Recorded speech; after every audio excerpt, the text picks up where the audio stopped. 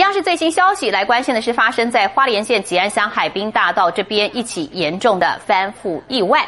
游览车呢，不晓得为什么原因呢？他当时车上是载有三十多位到花莲参加全国青年营的年轻学子。那么初步调查是，有可能这位游览车驾驶呢，在开着的时候，为了闪避一只冲出来的野狗，结果造成了整辆车翻覆。那么其中呢，有二十多位学生因此受到了轻重伤。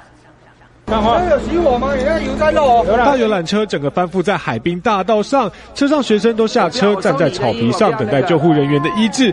这起车祸是发生在晚间十点左右。游览车的驾驶表示，当时因为闪避野狗才会翻车。我高啊，撞出来啊！啊，完了吧？